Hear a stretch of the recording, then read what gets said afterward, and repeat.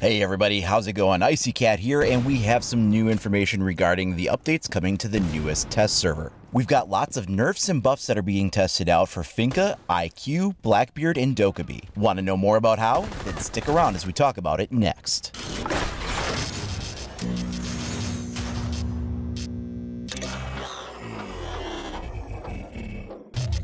This information was posted today on the Rainbow Six Siege Technical Test Server subreddit. Community Manager Ubitone posted the following information. The second Operation Parabellum test server will go live tomorrow, Wednesday, July 11th. The times are to be determined and will be updated here. It then goes on to let us know what gameplay changes they're going to be testing out. So the first thing they're looking at trying is replacing Finka's stuns with frag grenades, which is arguably a buff to that character. A further buff being tried out is to reduce the amount of damage she takes when she's affected by Smoke's gas grenades while under the effect of her ability. That damage is now being modified from 2 where it was previously down to 1.5. This reduces the effectiveness of Smoke being used as a direct counter to Finka when her ability is active.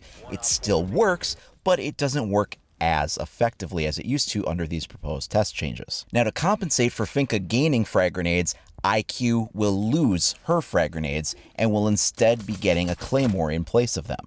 Furthermore, IQ will be nerfed on her electronic detector. The range is now going to be 15 meters instead of the previous 20 meters that it had been before.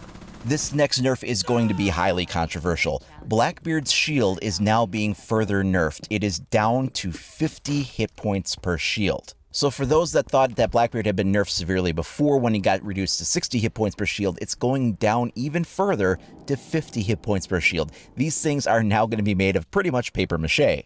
Arguably, to make up for that, they're saying that there has been a slight boost in movement while using the shields when the shield is equipped. The movement speed is slowed by 30%. Now, whether or not you think that makes up for the fact that his shields are now 10 hit points weaker per shield is really up to you. The last operator comes with Dokkaebi. Her Claymore mines are being swapped out and replaced with stun grenades instead. There's a couple of other minor changes that are included with this too. Some weapons have a different recoil pattern or feel. They list specifically the K1A1 for Vigil and Capitão's M249. A couple of bug fixes are also in place, so they had an add drone deployment option to the controls option, which has been fixed. Multiple actions and customized controls would be bound to the same key, causing issues, which has been fixed. And finally, on Coastline, there was a section on a wall in the second floor penthouse that caused the operator's feet to clip through part of that wall. So those are all the changes that are going to be tested out starting tomorrow. We don't know how long this test server will last for. The one that came out last week really didn't have a lot of changes to it, so I didn't even bother covering it in a video. They weren't changing anything really significant, and it was only lasting for pretty much a 24 hour period. This one, however, is worth talking about as there are some significant buffs and nerfs that they're checking out. Now do keep in mind, a test server is something they're trying to see how it works. It doesn't necessarily mean that these will be the final changes that will make it into the game, but what it does mean is that this is something they're checking for balancing and wanting to see how this plays out. Changes in the test server do frequently make it into the live game, even if they don't always make it in, at least not the way they're proposed. So what do you guys think? Are these operator buffs and nerfs something that you'd like to see them do, or do you think that they need to be going in a completely different direction? Let me know down in the comments below or share with me over at IceyCat25 on either Facebook or Twitter.